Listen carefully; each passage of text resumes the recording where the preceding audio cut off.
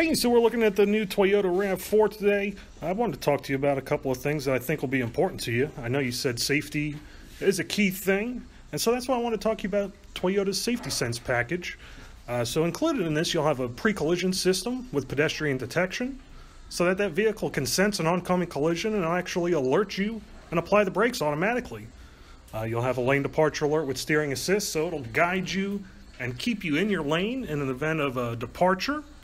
You also have automatic high beams so that your high beams will dim if the forward facing camera detects oncoming headlights or just excess ambient light, as well as dynamic radar cruise control. So not only can you set the speed that you want to maintain on the road, but it'll also keep you at a safe distance from the vehicle ahead of you. Um, now also some important things. I know you said space is important, so that's why with the RAV4 you've got more space behind the second row than both the Equinox and the Escape. Have 38.4 cubic feet behind that second row. And if we check out the Limited Platinum, we'll have some advanced comfort features that you can't find on some of our competitors, including a five-door activated smart key system, a foot activated lift gate so that you don't even have to take out your keys or push any buttons to open the trunk, as well as a heated steering wheel.